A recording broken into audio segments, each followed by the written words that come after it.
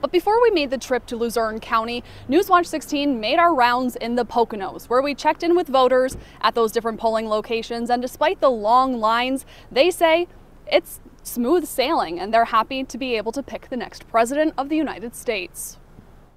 The line to vote at the Ross Township Municipal Building near Saylorsburg stretched down the parking lot. With a line like this and hundreds of voters comes a wait. Two hours and 25 minutes. And you even set a timer. I did. I set my timer.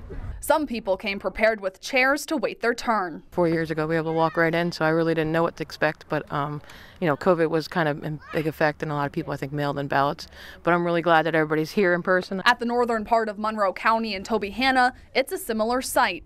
Voters lined the sidewalk outside of the Mountain Center. Actually, my first year voting, first time registration, and uh, um, I guess it's about time. Um, just looking for a change, and uh, hopefully, this these next four years will bring peace. Even with big state races on the ballot like Senate and representatives, voters say the main reason they came out was for the presidential pick. It's important for everybody to vote. It's, it's your time to do your due diligence and elect who you wish to be president. Voters tell Newswatch 16 since the presidential race only rolls around every four years, they want to make sure their voices are heard. We just wanted to vote and make sure that, you know, we did our part in making sure uh, the right person wins. Yes. just doing our part, responsible as uh, Americans. Just come out here and vote and uh, try to change as much as we can. To make a difference in the world.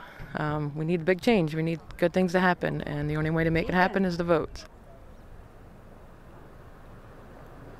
Again, because of the issues here in Laughlin that happened earlier today, voters have until 9:30 tonight to get out to the polls and cast their vote.